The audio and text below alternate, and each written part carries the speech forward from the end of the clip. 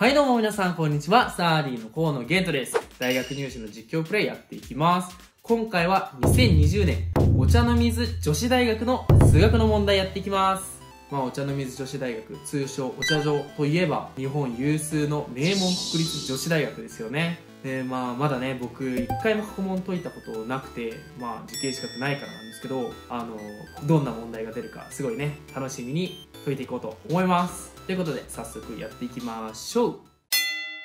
ということで実況プレイやっていきます。今回この2問ですね。解けるといいな。はい。以下の問いに答えをただし必要があれば、ね、あ、もう計算させるんだと。括弧1、3の53乗の桁数を求めよう。ね。で、括弧2、最高の位の数と1の位の数。まあ、これはね、定番ですよね。60、だから53、63を計算しましょうって話ですよ。これ60取って。だから、わぁ、だいたい0.4771でかけて、えー、53をかけてあげると、3、1、こういう時ね、そろばんやってる人とかね、無双できるんでしょうけどね。あ、間違えた。そろばんやってなかったんでね、ノリで、あ、あ、よかった。やっていこうと思うんですが、そう、本当はね、前からやっていきたいんだけどね、正確性っていうところをね、問うと、後ろからになっちゃうんですね。25.2863か、大体。25.2863。まあ、このね、0.001はもうここら辺の誤差だとね、もう信じて、これでいけると信じてね、答えだけ出すならそれでいいでしょう。まあ、25.2863ってことは26桁ってことですね。はい。で、括弧2が、えー最高くらいの数は、最高位の数は、この0.2863。10の0.2863乗っていうのはどれぐらいかっていうことなんだけど、えー、62よりちっちゃいよね。で、61より大きいから、えっと、だから1か。うん。で、1の位は、1の位の数は、えー3だから3、9、7、1が繰り返されてるわけだね。だから53割4で13割1だから3かな。3と。こんな感じ？え、なんか怖いな。計算ミス。こういうのって一番計算ミスをね、誘発するやつだからね。括弧3。3の53乗マイナス2の m 乗の絶対値が最小となる整数 m を求めよう。まあ、3の53乗と2の m 乗がほぼ一緒になればいいのか。だから3の53乗、あ、てかこれこういう風にすればいいかな。3の53乗分の2の m 乗みたいな風にして、ここのね、ここがなるべく1に近づけばいいと。ってことは、ログ10、まあ、m ログ10に引く、えー、53ログ13が大体0になればいいのかな？大体0。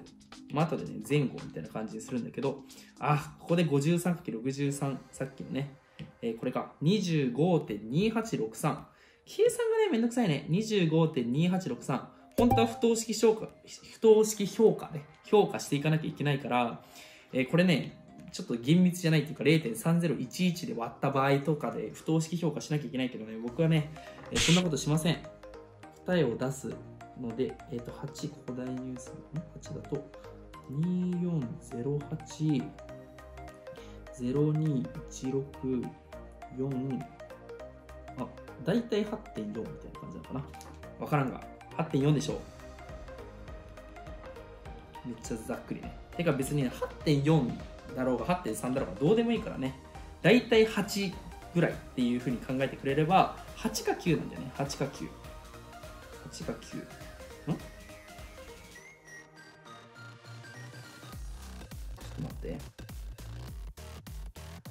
8か9なわけないもん。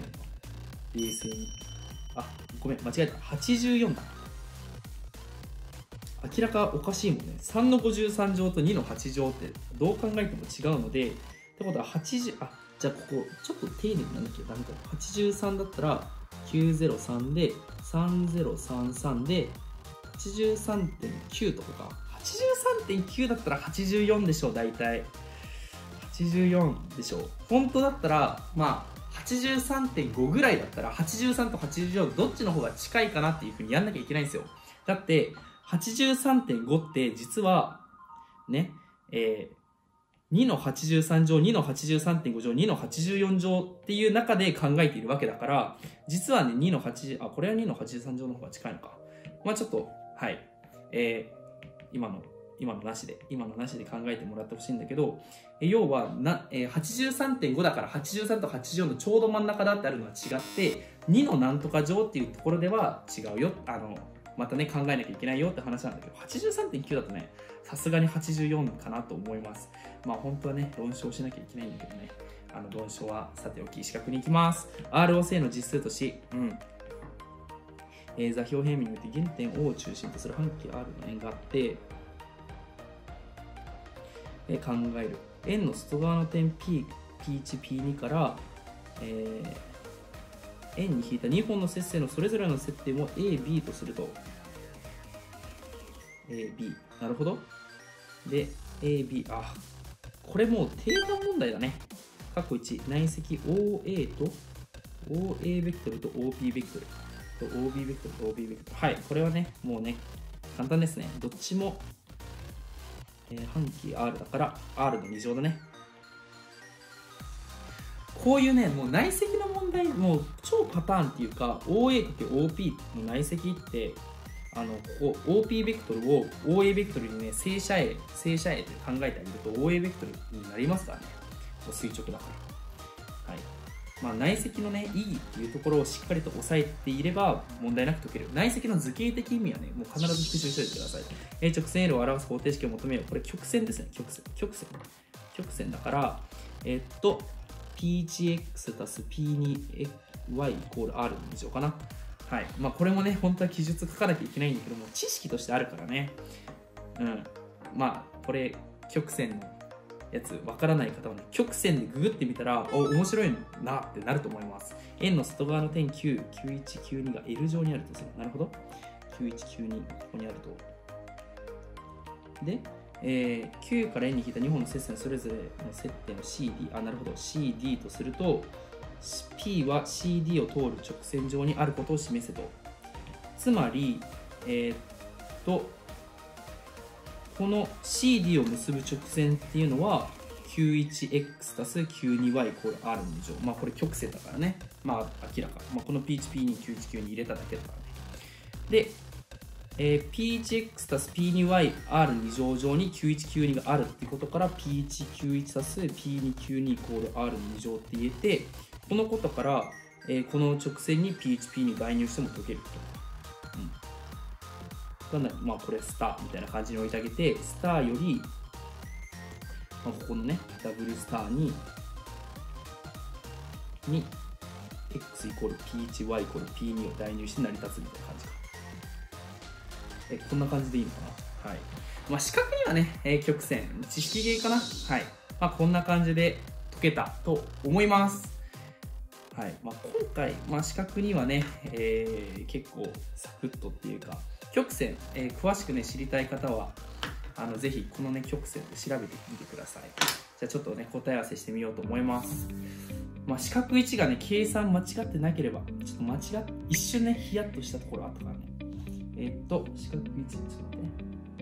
じゃあの水女子大の数学の、えっと、えー、26桁、最高位1、1の位3、で、84。お、84あってたね。まあ、83.9だったら84っぽいもんね。で、えっ、ー、と、R の2乗、R の2乗を証明問題につき省略だけど、まあ、正解でしょう。まあ、証明できてるからね。はい。ということで、今回もね、無事全問正解できました。で、この全問正解どこまでいくかわかんないんですけど、まあ、このお茶所の問題ね、あの、受験資格がない僕が解いてみて思ったのはね、まあ、四角1は結構定番問題だなっていうのと四角2も割と知識問題、まあ、曲線っていうことを知ってるか知らないかで大きく差がついた問題だなと思うのでもう基本に忠実にしっかりと勉強していくと、まあ、基本に忠実に勉強していく中でちょっとねプラスアルファの部分まあ、論証。しっかり論証を筋道立てて論理立てて説明できるようになっていくと。それがねすごく重要な能力だな求められてる能力だなと感じました。はい。まあこんな感じで、はい、まあ女子大ね、まあこんだけ解けても僕女子大絶対受かることはないですね。はい。というわけで他にこの入試の実況プレイしてほしいよっていうのがありましたらぜひね、コメント欄だったり Twitter、インスタの DM に送ってもらえると嬉しいです。また次回の動画でお会いしましょう